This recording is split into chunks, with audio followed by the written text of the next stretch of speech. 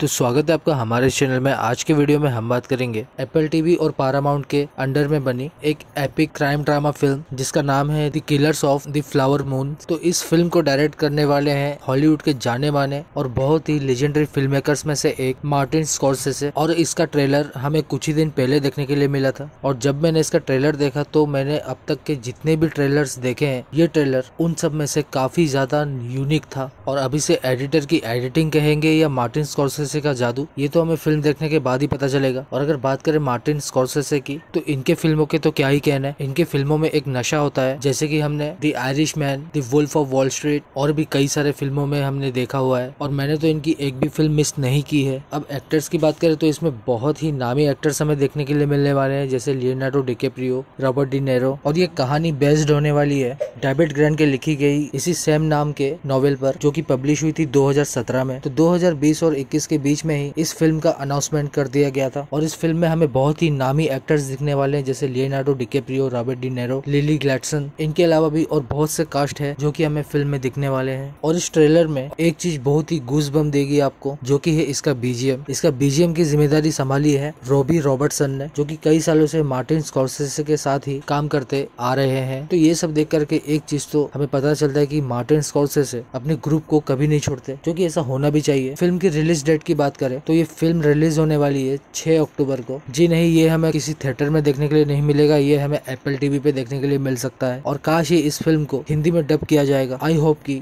Dub किया जाए Apple वालों की तरफ़ से, जिसके की चांसेस मुझे बहुत ही दूर दूर तक नज़र नहीं आ रहे हैं। और इस फ़िल्म का रन टाइम पूरे 206 मिनट होने वाले हैं मतलब तीन घंटा 26 मिनट और इस पूरे फ़िल्म को 200 मिलियन के बजट पे बनाया गया है। 200 मिलियन को अगर हम इंडियन करेंसी के हिसाब से देखें तो ये होते हैं 1600 करोड़, जो कि पैसे हमें साफ़ तौर पर इसके फ्रेम में दिखते ही है। तो वेट करते हैं इस फ़िल्म के रिलीज़ डेट का। तो मैं तो काफ़ी वेट कर रहा हूँ इस फ़िल्म को लेकर के। आपकी क्या राय है इस फ़िल्म को लेकर? ये मुझे कॉमेंट बॉक्स पे ज़रूर बताइए। तो बस आज के वीडियो में इतना ही। मिलते हैं किसी दूसरे वीडियो में। और जाते जाते इस वीडियो को कर दीजिए लाइक चैनल को कीजिए सब्सक्राइब बेलाइकन प्रेस करें और शेयर कीजिए अपने सारे दोस्तों में।